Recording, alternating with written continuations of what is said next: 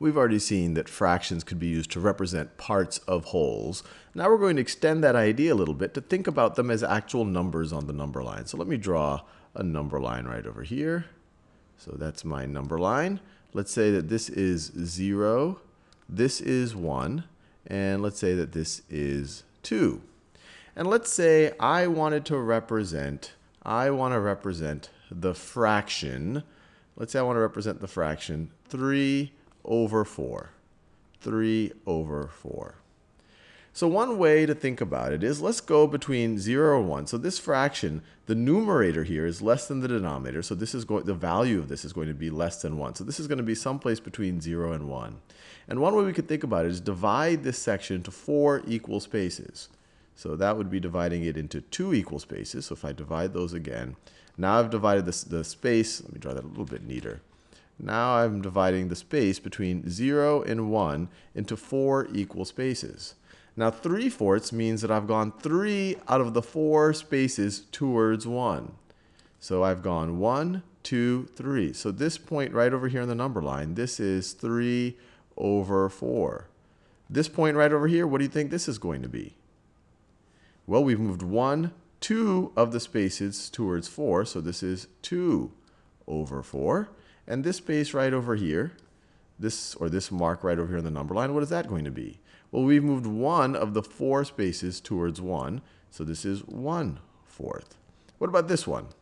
Well, you could call this zero fourths, which is the same thing as zero. So you normally wouldn't call that just zero fourths. And now we have another interesting question. What could you also call this space?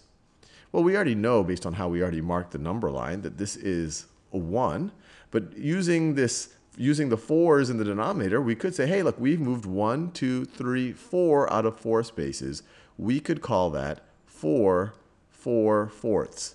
And that also makes sense. So let me make this clear. 4, 4 parts out of 4 total parts, out of 4 parts, equals 1 whole. Equals 1 whole. But this also makes sense from what we know of division. This little fraction symbol that we, all, all, we, we keep using, this is the same thing as divided by. This is 4 divided by 4. And we know that any number divided by itself is, except for 0, 0 is a little bit strange, but any non-zero number divided by itself is going to be 1. So this could be viewed as 4 fourths. So let's do a little ex a few exercises with our newfound knowledge of fractions on the number line. So let me get a little exercise going. So here we have move the orange dot to 3 6 on the number line. So we already see that they've divided up the space between 0 and 1 to 3 into 6 equal sections. 1, 2, 3, 4, 5, 6. So we need to move it to 3 of those 4 sections. 1, 2, 3. Let's check our answer. Let's do a couple more of these move the orange dot to 2 fourths on the number line. So we have one, two, three, four equal sections. We need to move it to 1, 2 of them. If they didn't divide it into four equal sections for us, then it wouldn't have been so easy to just count 2. It has to be, the number of sections has to be the number in the denominator, and then the number in the numerator is how many of those we move the dot to. Let's do one more of this. This is a lot of fun.